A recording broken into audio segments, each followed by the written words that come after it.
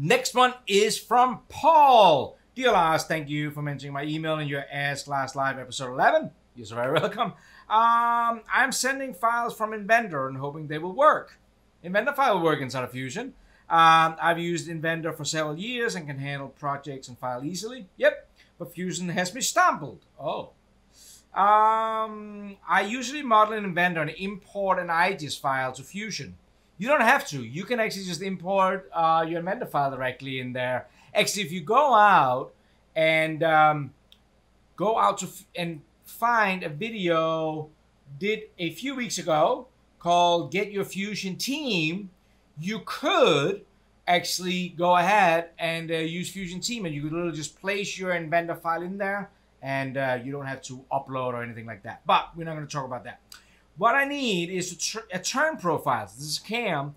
Um, and I haven't been able to get a good tool path or even generate a realistic tool without errors. I want to use a triangular insert on a tool oriented as for boring on an edge of the tool parallel to the Z. Okay, so there's a lot of information here. Um, I hope, Paul, that I can give you a couple of different pointers that can be useful. All right, let's start out by um, by opening up uh, your Inventor file. So you could actually just now, with the new function, you could just go and say File, Open, and uh, if you want to open from my computer, we could go out to our download folder. And uh, there you will see I have a uh, that uh, IPT file. Click on that, and uh, let's open that file up. All right, so this is going to be CAM, um, and I hope I can. There's a lot of functions on this part, but hopefully I can uh, give you some tips and tricks to turning that you hopefully will uh, will find him. I'm not gonna wait for this to. I'm just gonna close and translating handlebar can't back. We are working on it. We'll let you know when it's ready, and you can check the status here. Got it. So that shouldn't take uh, more than a couple of seconds. We're literally just translating our Inventor file uh, up in uh, up in the cloud. What gives me a chance to take a sip of water.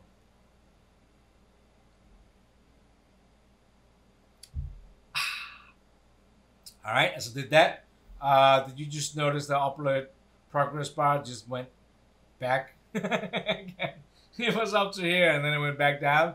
It always makes you makes you wonder a little bit about uh, about what is going on uh, behind uh, behind closed doors. This shouldn't take more than just a couple of seconds to uh, to do this.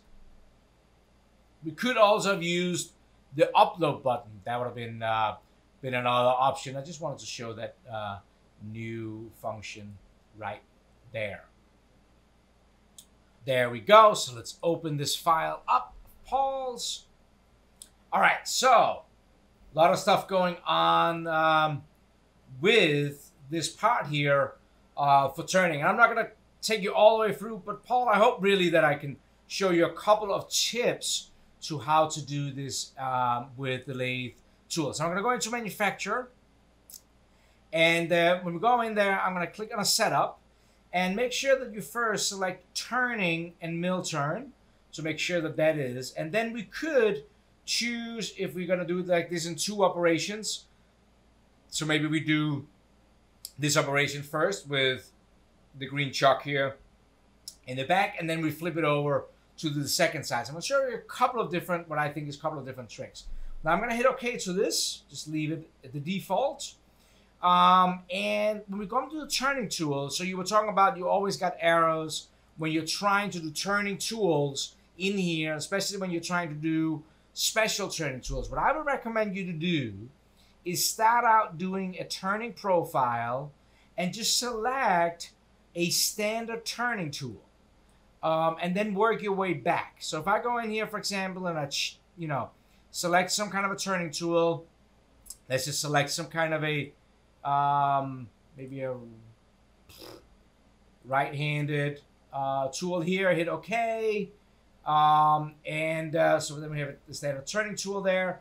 And then I'm actually just to go in here and, uh, and hit OK for right now uh, and see what I get. So what we end up getting is the first tooling toolpath here. And you can, of course, go in and we can simulate it turn the stock on, uh, and we can kind of see how it's it's doing this here.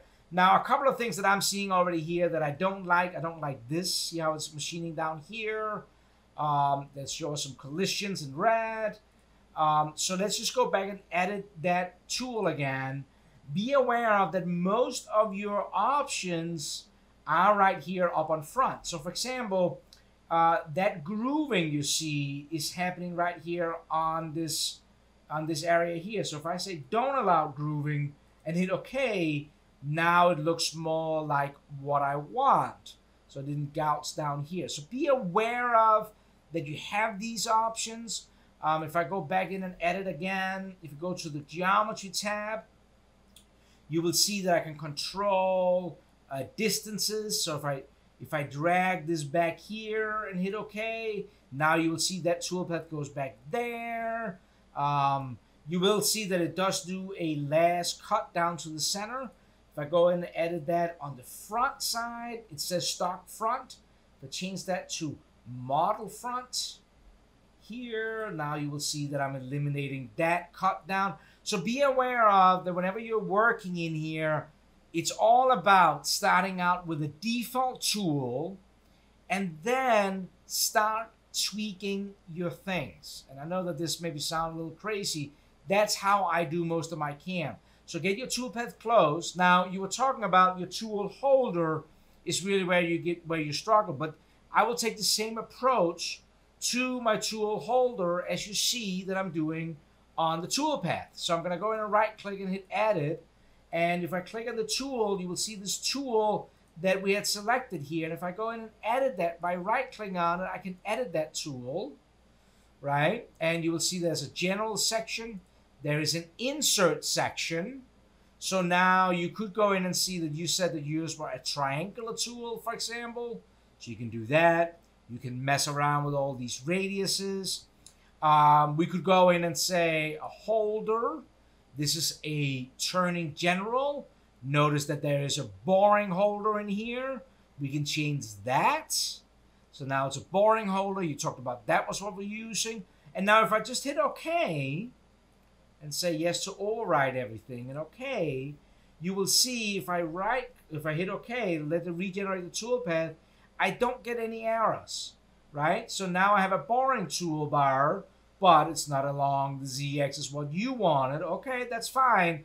I'm just kind of doing this step by step. So I'm going to edit that toolpath. I'm going to go back into the tool, right click and hit edit. Now I'm back in again. Go to the setup tab and here, I can actually change the direction. So maybe I make it 90, and now I get this. Let's go ahead and, uh, and, and notice that we can do tip conversation. Uh, we can, on the holder, we can choose behind right and left hand. Let's just hit OK to this, see what we get. That's not right. Uh-oh. Let's go back in, select the tool again, edit the tool, Let's go ahead and change it to a left-handed. Hit OK. Yes. Okay. Now we get what we wanted, right? So, so know that Fusion will let you do a lot of the things that you want, but it just comes down to this this methods for me at least personally. I prefer to kind of like make a change, check it, make a change, check it many times when we go in and do things in here, we get caught up and, and it sets us down for, for the next trouble. The other thing I want to show in here, just because that there's a chance that you get thrown up, is now we machined one side. Now we got to do the second side. I'm going to create a second setup. I'm going to change that back to mill turning like we did before and flip the axes. Now I'm literally having a second setup hit OK here, okay? Now I'm going to show you something that you may or may not run into. If I go now head here and do the same thing, let's do a turning profile. We can use the same tool, hit OK. And now we see how we get a turning profile using the same tool. You might be happy with this. You see how this is going around here? Um, what happens with cam turning is that it's actually slicing through our model um, when it does this. And it was not a problem from this part right here. But let me show you something. Let's go to the top here. Um, if I go back into the design environment and I use the move tool, and I'm literally going to um, move this body, rotate this body here. There we go. I'm going to rotate this body so these grooves you have here are right in that horizontal 30 degrees, right in horizontal. Now, when I go back to our CAM environment, a manufacturing environment, I got to update my models. Um, actually, you don't have, if you are happy with the first model, you actually don't have to update it right now. You could just right click on it and you could click protect. I do that many times, so that doesn't mess with. What I want to show here, when I update this model, notice what happens. You see here how it cut into that pocket because it now it's it's in that cutting band. Fusion has this really cool function in the setup. Right click edit in the setup where you can do what's called a spun profile. And it's actually kind of like looking at it as revolved. We got the body selected. Now I hit OK. And if I update the tool path, see how it got the cuff You'll see right now, before I update it, it kind of will do this body here. If I right click and I hit generate, now it's back to where it was before we moved it and nice, nice smooth axis here. So that was a couple of tricks that I hope that you would find helpful uh, for this part here. So a couple of things for you, Paul. Number one, yes, you can absolutely upload your Inventor file. Don't not do that. Uh, and two, um, when you do uh, go in and do your turning, break it down. Hope that was useful. Thumbs down if it wasn't. Comments if you had anything to add. Um, yeah, subscribe, all that good stuff.